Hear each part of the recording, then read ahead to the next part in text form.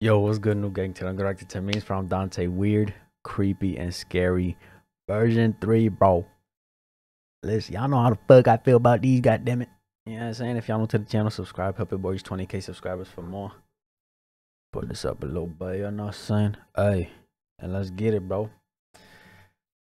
Let's see what this motherfucker got going on this week. Let's see.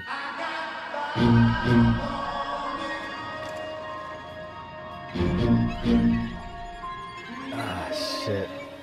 And I this is don't why like you these. should always check the trunk of your car. In 2013, a 47 year old wife from Hong Kong named Wang Su Feng and her 16 year old daughter Lily Ka Li Ling was on the road, and after four minutes of driving, they parked at Sayo Village bus stop, only for both of them to suddenly pass away seconds later. The Hong Kong police was baffled Ah. as to how a mother and a daughter suddenly passed away inside the car, so they conducted a thorough investigation. And after running an autopsy, the police found that Wang and Lily died of carbon monoxide poisoning inside the car. So the police went through the vehicle trying to trace where the carbon monoxide gas was leaking from. And once they got to opening the trunk, what they saw was truly odd. Turns out, two yoga balls were found inside the trunk and was leaking extremely toxic gas that ultimately What the fuck? Somebody must have put them bitches there though, cuz. to the driver and passenger seats. And who was the killer, you may ask? It was none other than the husband and former university professor Ka Kim Sung, who killed his wife and daughter because he was unhappy with his current marriage and was having an extramarital affair with one of his students. You fucking bozo, and you just gonna kill him? And look, you got caught. Now you probably doing life, you freaking bozo. Bro, if you're unhappy, just fucking leave. Just leave, bro. You there ain't shit else to do but leave. You know what I'm saying? Cock him, son. Boy, you ugly ass motherfucker, boy. Can I show you a scary video? No. Bro, I like these shits, bro. After this, she called the cops. I looked down. I didn't see anybody out on the road or any cars or anything. So I went back to my ring video to make sure I wasn't just courageously hearing something.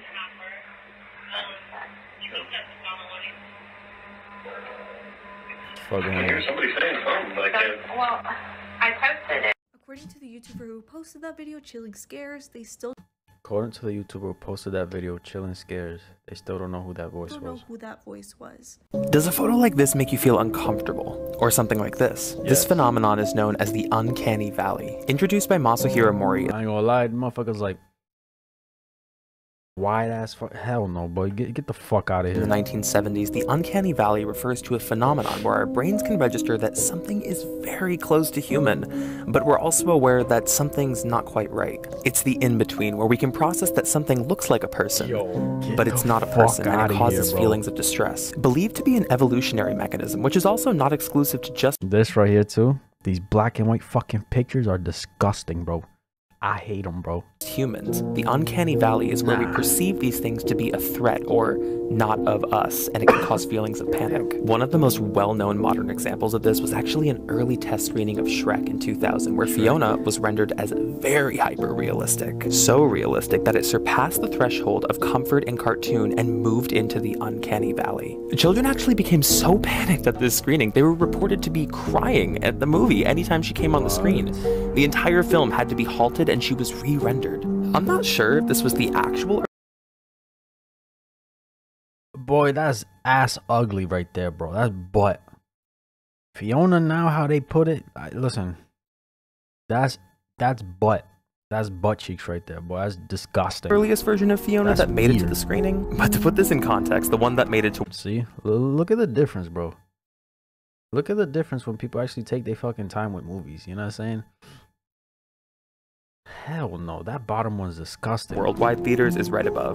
But I did happen to find this monster from some of the early test footage of Shrek. The Uncanny Valley is still a widely unstudied phenomenon, but it continues to become more and more pervasive in entertainment as well as our modern animation.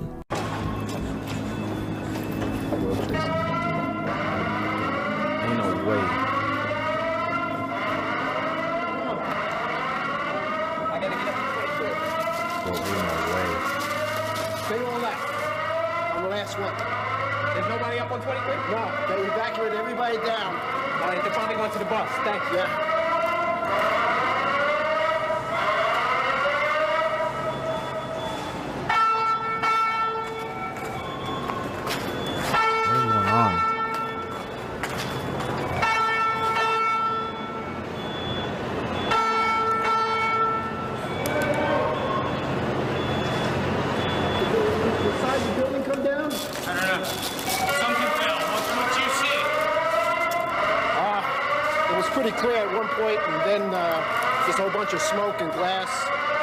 And I think we're just about to. I saw somebody push a boy out the window. Wait, what? Just about to. Trigger warning. Trigger warning. Mention of abuse. Saw somebody push a boy out the window. And I was looking up at the building.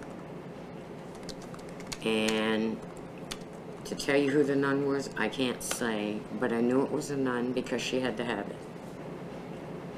And he kind of hit and Bounce. well, I guess you'd call it, it was a bounce. And then he laid still. Sally also said she saw a boy drown after he was thrown off a rowboat and into a lake. All I said is, did he drown? Who'd you say that to? To the nun. And she said, oh, don't worry, he's gone home for good. Hello? Uh, did she get caught? Huh? What the fuck, bro? That sucks. Many other kids from St. Joseph's told similar stories. This is Ed Dupree explaining how he was thrown off a boat. I was fighting for my life when I was Oh, swimming ashore. no. Did this happen to other children? Oh yes, yes. That not gonna All fucking the time that I was there, it happened. Every summer. Patty Zeno said a nun Hell named nah. Sister Priscilla tried to push her off a windowsill when she was standing on the outside washing the window. The windows were open, probably like this, so that they could hold you by your ankles. And she just went, Okay. And what happened? I started to fall. Nah.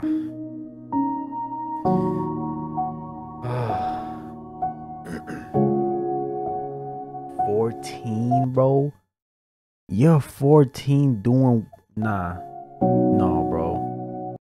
Philip Chiz Chiz fuck his name. Followed Colleen into the school bathroom before he stabbed and You're 14, bro. What the she didn't give you puh?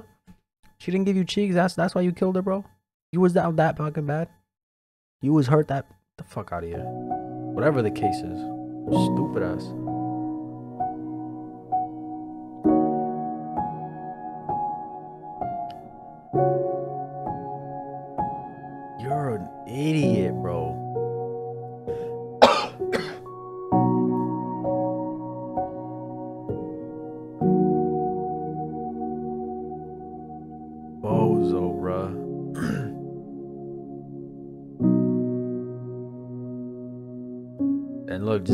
Everybody minding their business. Yo, it's, listen, it's crazy the amount of people you pass in your life. You know what I'm saying? Just normal, going about your day.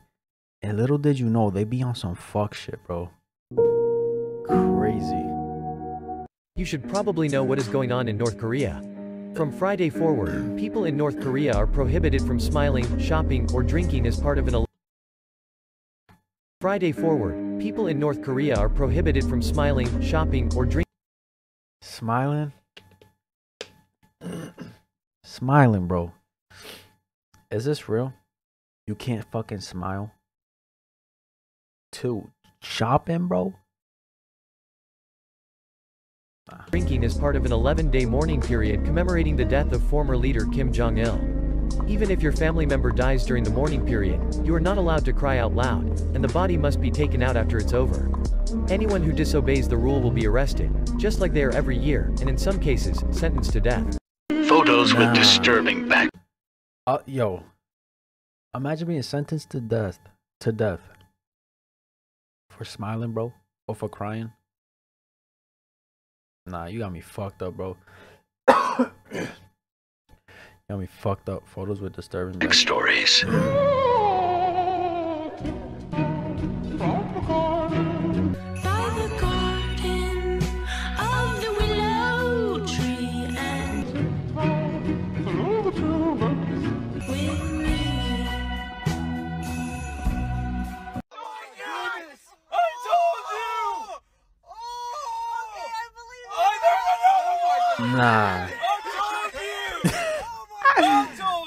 Bagno.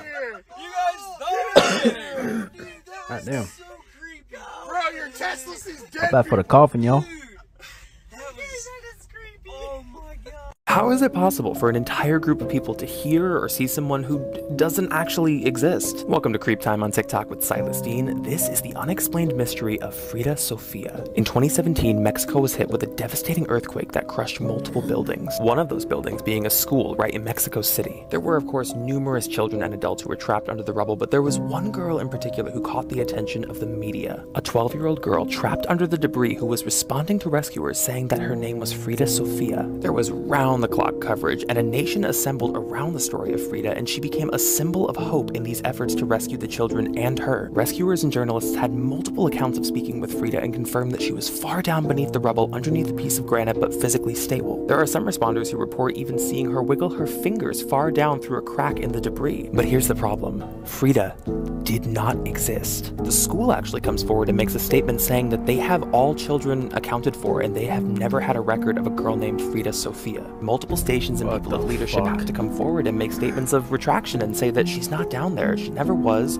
she's not real. Suspected of being oh, one of the largest cases of mass hysteria in modern history, it is completely unexplained how there were so many separate accounts of people who claimed to speak to her or even see her beneath the rubble. Ultimately, the existence of Frida is a complete mystery, and there are still some people who believe she was really down there in that debris.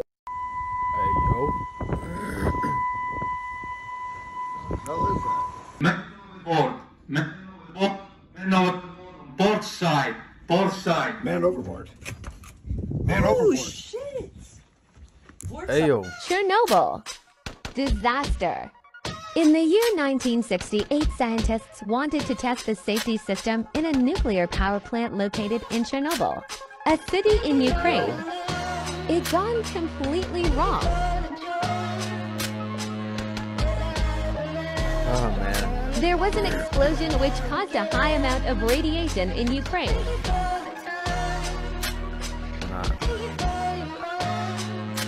Workers had to cover the nuclear power plant with sand to lower the radiation. But there was one more problem, and probably the biggest. Bro, that is fucking scary, bro. Imagine going through this shit, bro. That is fucking scary. There was melting steel, so radioactive that if it would touch the water, it would cause an explosion so big.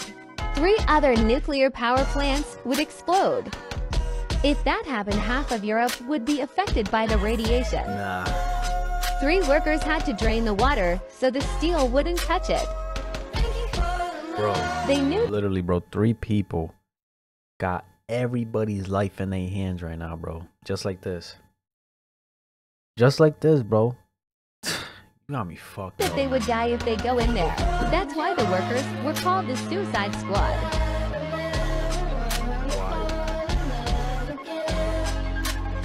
Luckily, they managed to drain the water. They were heroes to Europe. That's crazy. Worst ways people have died. Part 6.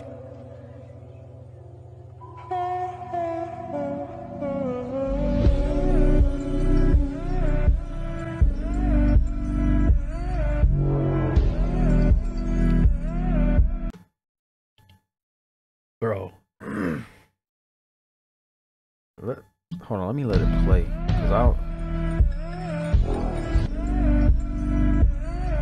Severe head trauma risk? Nah. Oh my god.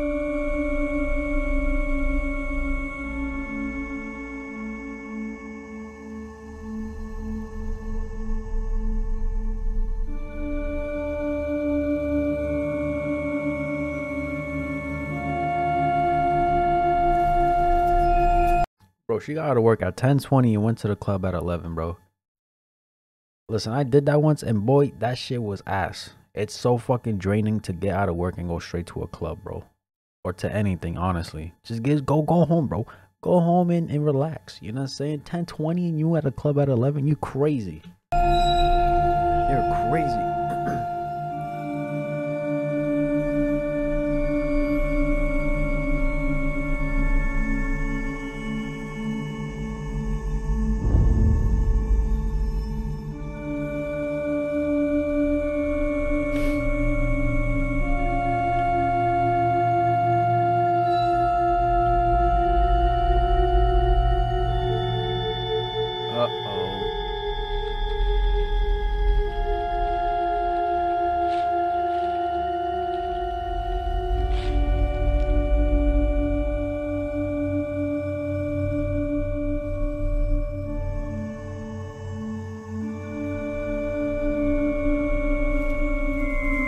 This fucking music is for what?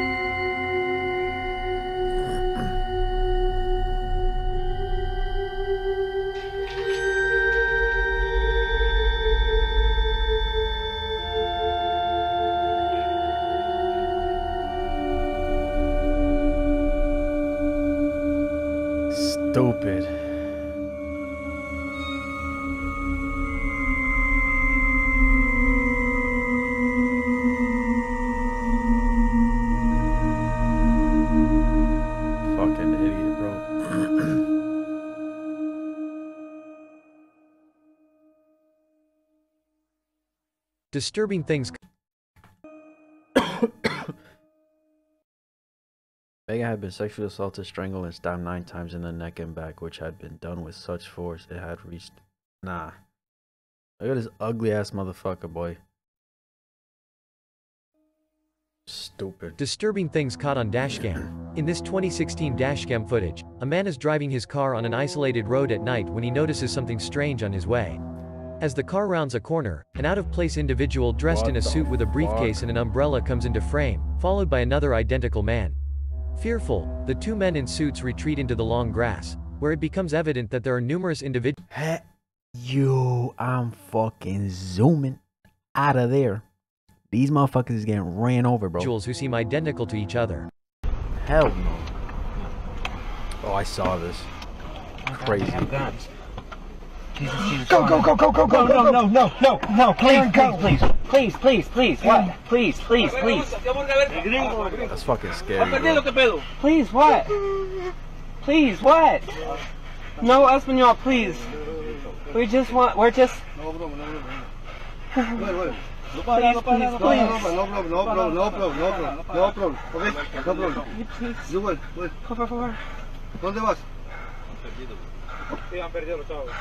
Hey, come on, come on. Yo, that's fucking scary, bro. no problem, okay? About to pass out. These motherfuckers want to enjoy their vacation. Here they are. Nah, bro. From the cartel? Fuck no. Okay, no problem. Logan, no, no, it's okay, it's okay, it's okay. No problem, no problem, okay? What, what? Yo, You that's will, fuck- you will. Can we go? Uh-huh, well done. scary. The most horrifying things ever live streamed part 5. There will be some upsetting sounds at the end of this video, so viewer discretion advised.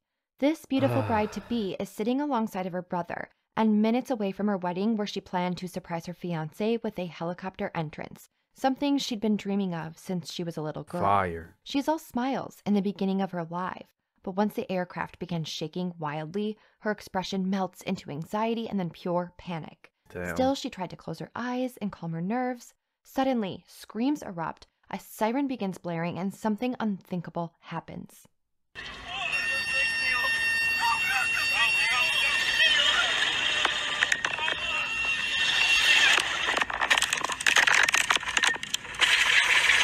The aircraft crashed into the woods one mile away from her fiance, who was waiting.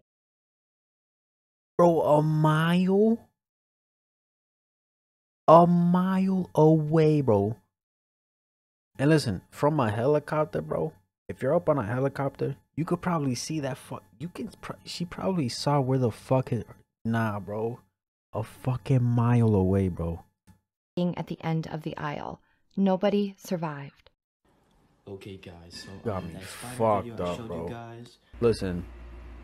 I listen. I want I caught the spider right there. It's inside that. some shit gonna pop up, and I want. I don't even want to look, bro. It, but I saw it and I just grabbed the bull and it's in there. So I'm just take a peek, so that we can see what it looks like. Okay. You're bugging. It's fucking ready? a spider or something, bro. No cap. And why you so close to it? In three, two. Oh, this man's counting down, bro. You're bugging. Fuck out of here. Oh man. Not bad. Not bad. See, I could tolerate this. You know what I'm saying? Like, it wasn't too bad for your boy, you feel me? And I hope it stays that way. You know what I'm saying? I hope so, bro. Yo, that's my reaction. If y'all enjoyed, this video like, subscribe if you haven't. I'm out.